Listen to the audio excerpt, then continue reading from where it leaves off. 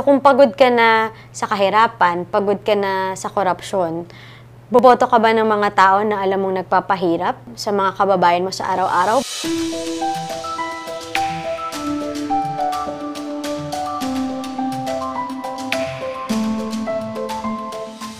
Ako si Mara Cepeda, political reporter dito sa Rappler at ang kinocover ko para sa 2022 elections ay si Vice President Lenny Robredo.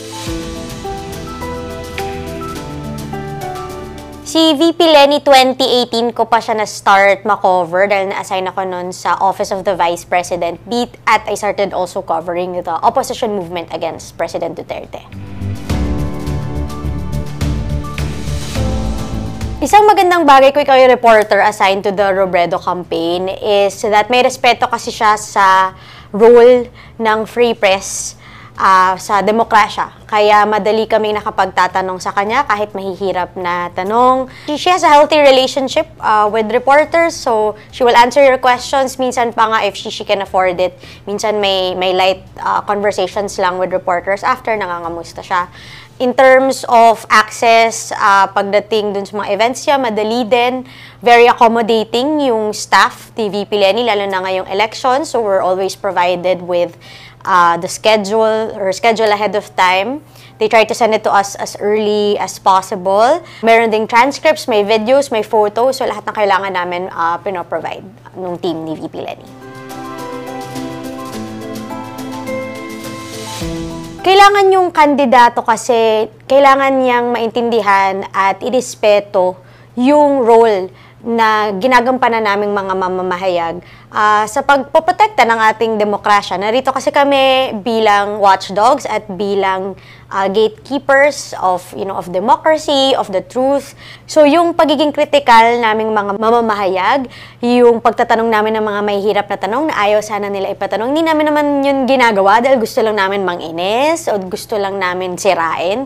Kasi hindi naman ako nag-journalist para gawin yun, pero ginagawa namin yun dahil ako, paniniwala ko, we always put our elected officials to a higher standard because we elected them precisely because they're supposed to be better than all of us. We elected them dahil sila yung gagawa ng mga desisyon, ng mga polisiya para mas ma-improve yung buhay natin. And in that regard, yung role ng journalist is singilin yung mga kandidato, yung mga politiko, dun sa kanilang trabaho, yung duty nila sa taong bayan. At sa amin, dinadaan namin yun sa pagtatanong sa kanila after namin pag-aralan yung plataforma nila, after namin pag-aralan yung implikasyon ng mga polisiyang nire-recommend nila or pinopropose nila.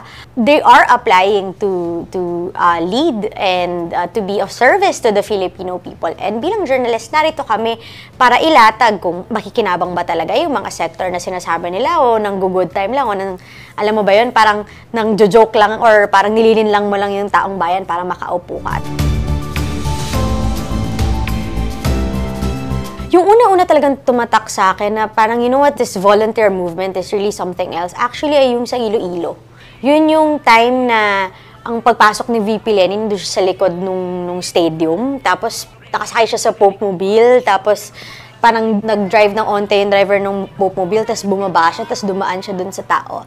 Sa totoo lang, goosebumps moment yan talaga sa akin. Kasi nakita ko yung tao na talagang parang may wave, literally wave, that they really just wanted to to touch her and to see her. And even if ganun, hindi sila unruly, parang orderly pa rin sila. Gusto lang nilang mahawakan si VP Lenny.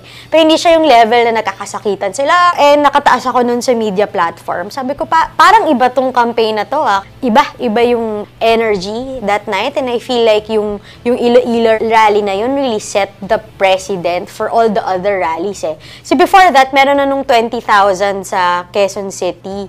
Pero nung yung Iloilo, iba yun. Parang after nun, sumunod na yung, nag-start na talaga yung trend na uh, nagpapakitang gilas yung mga supporters sa bawat probinsya. Yung si VP Lenny, I think, is one of the most vilified opposition figures under the Duterte presidency. Dala na rin ito siguro dahil siya yung opposition leader, siya yung uh, chairperson ng once ruling Liberal Party. Tingin ko dala na rin yun na siya ay babae at merong, um, kumaga parang ingrained misogyny uh, ang mga Pilipino uh, as, as a people eh. At mahirap itong buwagin. A lot of the attacks against VP Lenny, ano yun, um, many of them are based on lies.